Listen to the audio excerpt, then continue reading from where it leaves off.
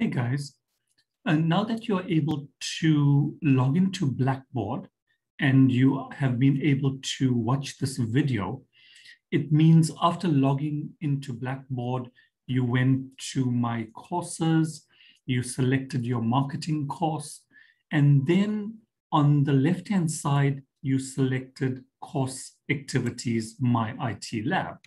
So that then brings us to this particular uh, screen where it shows us uh, my IT lab. But your screen may be a little different uh, because I'm seeing it from an instructor, you are seeing it from a student view. So let me enter into the student view so that you will see exactly, uh, well, I will display exactly what you are seeing. So here, these are the links that you are now seeing.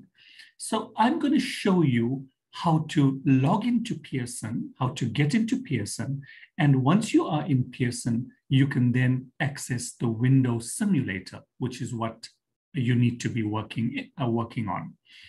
So here we need to click on My IT Course Materials. So that's the first step to click on that particular link. So once I click on that link, it's now redirecting me from Blackboard, it's now redirecting me to the Pearson system. And each of these steps may take a few seconds uh, to come to.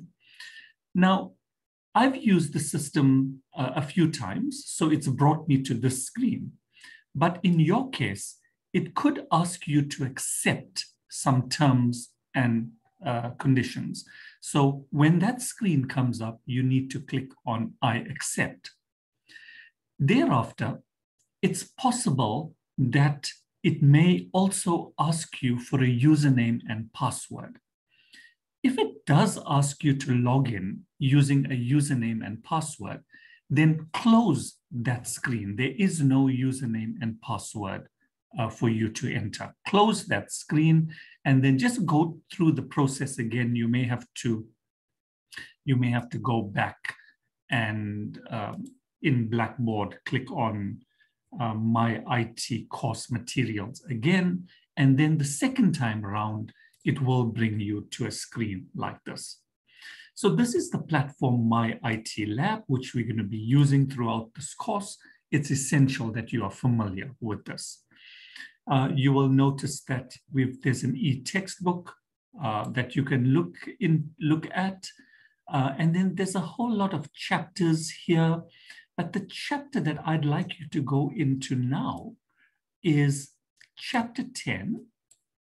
Right, try to locate chapter 10, getting started with Windows. So this is the first section that you are going to learn, how to use Windows 10. Windows is an operating system, and without this operating system, the computer does not function. So it's important that you know how to use uh, the Windows 10 operating system. So let's click on that option. And once I click on that, it takes me to a screen here like this. In this screen, you've got two options. You've got the chapter 10 activities and you've got the student resources we are going to go into the chapter 10 activities. So that's that would be the next step. Click on chapter 10 activities. And again, it's going to load up all the activities for Windows. We're going to make use of a simulator. And this is really a nice platform that teaches you using simulations how to use Windows. Not only Windows, but for now, it's a simulation that's going to show you how to use Windows. So we want to go to the simulation activities. So we will need to click on chapter 10, simulation activities. And now it's going to bring us to this window where we've got quite a few things here that's happening. But essentially, essentially, we are just interested in the first option. And the first option says Windows 10 simulation training. That's what I, I, I would like to go into. So obviously you would need to click on the simulation training. Once you click on the simulation training, it takes a few minutes and now it's loading the simulator.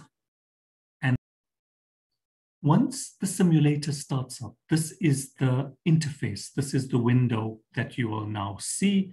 If it's not maximized, you can use this particular button, uh, this little icon on the top right-hand corner, and that will then maximize and it will open up in the entire screen. So it's the simulator is made up of a screen, and this is what you normally see in the screen. At the bottom is a question that you have to answer. Uh, here, you will see the total number of questions. In total, we've got 26 questions to answer, and we're currently on question one, and we can use these arrows to move forward and backward. And it shows that we have five attempts in answering uh, a question, one particular question. You've got five attempts in total. Now, if you don't know how to do the question, how to answer the question, then this is extremely important. There's learning aids. So you will click on learning aids, which will help you in solving this particular question. We'll look at that just now. Um, then we have um, view all, which will allow you to see all the different types of questions. And once you've finished, make sure you save. Saving, so the next time that you come in, it allows you to continue from where you left off. So as I indicated, here is the question. So it says sign into Windows using the Microsoft account for my IT lab user. And this is the user it says enter my IT lab 1234 as the password. Now, if I'm not sure what I need to do, then as I indicated, go to learning aids. You have a video that you could watch or you could practice. I'm going to click on the practice. When I click on practice, it takes me to the With practice the environment. point in the password box, type my IT lab 1234 and press enter. So there's a voice recording that tells you exactly what needs to be done. You can also read the question, which is what was recorded. The record, uh, the voice can be turned off if you want, but follow the, the red box. Uh, there's this red box, which always uh, gives you a hint on what you have to do. So here now, we need to type in the password and they tell us to type the password my IT lab. So I'm going to type my IT lab a one, two, three, four. And they then tell us to press enter. So when I press enter, it then uh, takes us to the new screen, tells us that the practice was completed. A saved password, I can close that. I don't need that. Now, after practicing, now I need to do exactly what I had done in the practice. So I click here and I type my IT lab one, two, three, four, and I press enter. Uh, again, I can close that and it says question one is complete. So that is, and now it's moving on to question two. Uh, here you will see you are on question two of 26 and there is now a new question at the bottom that you need to answer. Now, when you read this question, it says display the home page of the settings window. I have no idea where the settings window is. So again, let's go to the learning aid and let's go to practice to see where the settings window is. On the is. taskbar, in the notifications area, click the Action Center icon and then click All Settings. Right, so there, that was the audio and there's the red box that's guiding me. So this is where I need to click on uh, when to go to the display, the settings window. Uh, and when I click there, it then brings me to this particular window and it's telling me I now need to click on all settings. And that's how I get to the settings window. So the practice is completed. So let me do that, right? So it was, uh, I needed to click on there, it is here. bottom right-hand corner. So let's click on that. And it then told me to click on all settings. And I was able to come to this particular window. So that got me to the first part. Now, the second part wants me to change the desktop background to the picture butterfly.jpg located in that folder. Now, again, I don't know what to do, so I'm going to go to the practice session. That's going to instruct me exactly In the how. settings window, click personalization. So again, I'm just turning the volume down. It tells me I need to click on personalization. When I Below click on that, picture, click browse. it I need to now click on the look for the browse option.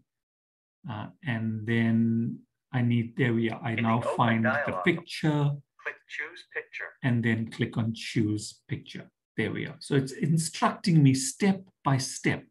Now try it yourself. So I'm going to now try, go through that process. Remember, it was personalization. Then I remember it was browse. So I just scroll down and I look for browse. There it is.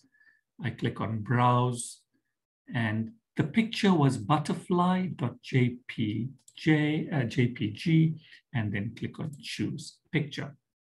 So that has now been done and the highlighted. So look at the highlighted, the next part is highlighted.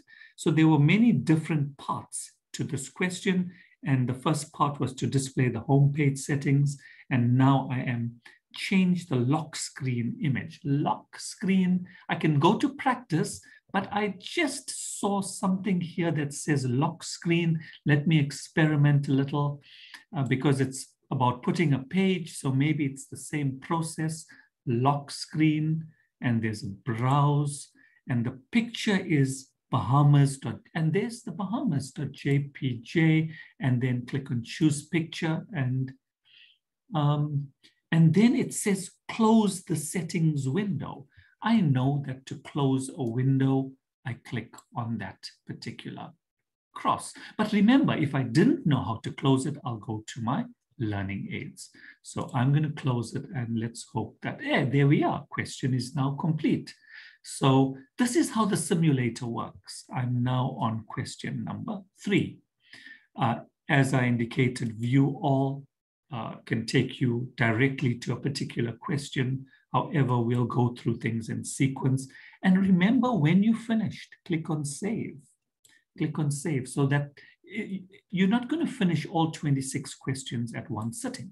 So you save it, and during the course of the week before your next lesson, make sure you complete all of the questions, but you can save them as you're going through each of them. Uh, this is basically the simulator.